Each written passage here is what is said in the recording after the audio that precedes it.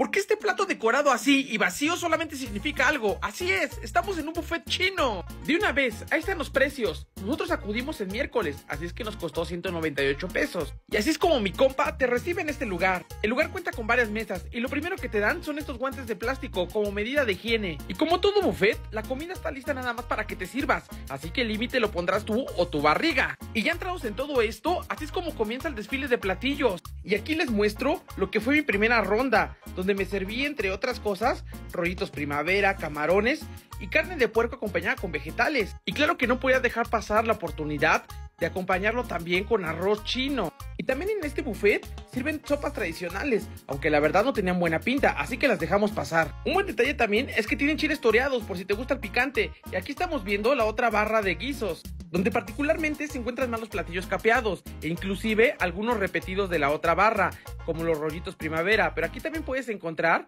algunos camarones capeados, bolas de pescado y cerdo con salsa agridulce, donde también esta última la puedes acompañar con otros platillos. Aquí nos servimos una pasta tipo maruchan, y aquí como las bebidas van aparte, nos pedimos el agua del día, la cual era de guayaba, esta era una jarra de 4 litros. También le puedes poner la clásica salsa sriracha por si le quieres poner algo de picor. Y llega el momento de ahora sí, empacarnos todo esto. Aquí me servía arroz y la verdad estaba incomible, no tenía nada de sabor y estaba súper seco. Y como era de esperarse, este tipo de platillos como el rollito primavera están solamente súper grasosos. Pero ahora sí, nuestra opinión sincera, la comida, como lo dijimos, es muy grasosa, algunos platillos no tienen sabor y probablemente estos que se miran fueron uno de los mejores ya que iban acompañados de nopales y verdura. Y al igual que el arroz, todas las pastas estaban carentes de sabor. Pero sin lugar a dudas lo mejor de este buffet fueron los postres, donde probamos desde guayabas en amíbar, gelatina y hasta arroz con leche. Pero también había galletas y fruta natural. Algo que deben saber es que aquí existe la modalidad de buffet para llevar, donde te dan un recipiente y puedes poner todo lo que quieras, a excepción de los camarones que solamente te permiten 6 y tiene un costo de 198 pesos también.